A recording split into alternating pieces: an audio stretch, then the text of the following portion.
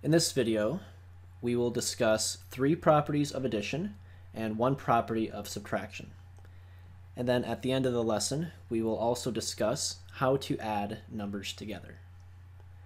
So beginning with the first property, we have the commutative property of addition. And this property says that the numbers in an addition problem can be rearranged without changing the answer. So for example, we have 5 plus 4. That is the same thing as 4 plus 5. All right, notice the order of the numbers that we are adding does not change the final answer. So that is your commutative property. And in math notation, we can replace the numbers 5 and 4 with the letters A and B, where A and B are just representing any number. All right, so here we see in math notation, A plus B equals B plus A. The order of the numbers are changing. And a way to remember this is the commutative property is we can look at the root word commute. So commutative, you see the word commute. So the word commute, spelled with a E at the end, the word commute means to travel or to move. So for example, your parents might commute to work, meaning they have to make a drive to get to work. All right, so commute has the idea of moving or traveling. So in this context, okay, what is moving or traveling would be the numbers. So if we move the numbers around, it does not change the final answer. Right here we see the 5 and the 4. We have 5 plus 4. But if we move the numbers around, so the 5 goes over here and the 4 goes in the front, notice the numbers are moving. So that is the idea of commute. So that would be your commutative property, is when you're moving the numbers around, and when you do that, it does not change the final answer. The next property is the associative property. So the associative property says that the grouping of the numbers in an addition problem can be rearranged. All right, so what this would look like is if we had three numbers added together, let's say we had 3 plus 4 plus 5. Now the associative property says that it doesn't matter if we put parentheses around the 3 and the 4 and add these numbers first, or if we put the parentheses around the 4 and the 5 and add those numbers first. So if we try to add this, so on the left side here, 3 plus 4 in the parentheses, if we do that first, we get 7. So we have 7 plus 5, which equals 12. Notice on the right side of this equation, if we add the 4 and the 5 together first, what we have is 3 plus 9. And 3 plus 9 is still equal to 12. So we have verified that it does not matter how we group together the numbers in an addition problem. All right, we can group together the numbers in any particular order.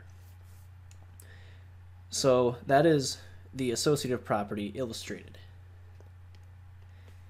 And then in math notation, we can replace these numbers with the letters A, B, and C. So here in math notation, we see the parentheses around A plus B, and then the plus C on the outside. That's equal to A plus and the parentheses over here around the B and the C. So that is in math notation how we write the associative property. Now a way to remember this property is in the word associative, we see the root word associate. All right, so the word associate, we can see in that word associative. Now the word associate in English has the idea of being in a group. So for example, like if you associate with a particular group of people, that means you're part of that group. You associate with them. So same idea here with numbers. If we associate numbers together, that means we put them in the same group. So the word associate has the idea of grouping. So if you see the grouping changing, and in this case the grouping is the parentheses. That's how we group together numbers. If the grouping is changing, or the parentheses, the numbers in the parentheses are changing, that would be your associative property. So we have the commutative property, we have the associative property. The third property for addition is your identity property. Now this property says that adding 0 does not change the original number. So for example, if we have 6 plus 0, adding 0 doesn't change the number, right? It's still going to be 6. Another example, if we had the number 100, okay, if we add 0, we still have 100 as our answer. Adding 0 does not change the original number. We started with 100 over here. We're going to end with 100.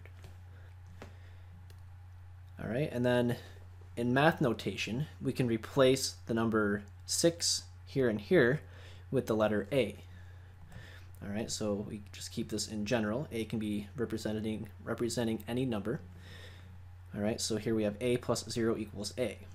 And that is the way we can express this property in math notation. Now, a way to remember this property is if we think of the word identity. Okay, if you are told that someone is changing their identity, okay, what that means is they're changing the way they look, right? So, in this context here, with math, all right, the identity property says that we're not changing the way the number looks. All right, we started with a number, so we started with, say, 100. Okay, that's the, your, original look, or so to speak. Adding 0 doesn't change the way the number looks. It's still going to stay the same. So it does not change the identity or the value of the original number. All right, so that's the idea with the identity property. And then our fourth property is a property dealing with subtraction. And this one we can just state as the zero principle of subtraction. So it's kind of like the identity property, but instead of adding zero, we're going to subtract zero. So subtracting zero also does not change the original number. So for example, if we had 8 minus 0, our answer is still going to be 8. It doesn't matter the size of the number. We can have 1,000 minus 0. That would still equal 1,000. It does not change the original value. So this is the zero principle of subtraction because we're dealing with zeros and subtract subtracting. All right, so it's like the identity property, but instead of adding, we're subtracting zero. And again, in math notation, we can replace the number 8 with the letter A. So A can represent any number. So we have here A minus 0 equals A. So A can be 1, could be 2, could be negative 4, doesn't matter. Any number minus 0 will be the number you started with. So those are the four properties. We had commutative, associative, identity, and the zero principle of subtraction. So on the next slide here, we're going to get some practice with those four different properties. So you can get some practice with this. You're welcome to pause the video at any point to see if you know the answer, and then unpause when you want to check your work. So here are a couple examples. First one, we are given 8 plus something equals 8. And what we're trying to do here is we are filling in the blank and also naming the property. All right, so the blank would be 0 because 8 plus 0 equals 8. And this property is your identity property because your identity property says that adding 0 does not change the identity or value of the original number. Our second question, here we see 4 plus, and then parentheses around 5 plus 7. Over here we have a blank plus 5 in the parentheses, and then plus 7 on the outside. All right, so in the blank, notice the number that is missing on the right side is the number 4. Right? We need the number 4 to match up with what we have on the left side. And then, then notice what's changing in this equation. What's changing is the grouping. Right here, we have the 5 and the 7 grouped together. And then on the right side, we have the 4 and the 5 grouped together. So the grouping is what's changing, and that would be your associative property because we're changing the association or the grouping of the numbers.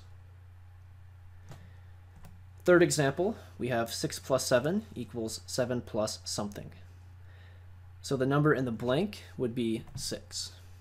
All right, 6 plus 7 equals 7 plus 6. And what's changing in this problem is that the numbers are being moved. Right, we move the 6 and the 7 around to get 7 and 6. So the moving would be your commutative property because remember the word commute means to travel or to move. Next example, we have 7 minus 0 equals something. Well, 7 minus 0 would equal 7. And what this would be is the zero principle of subtraction.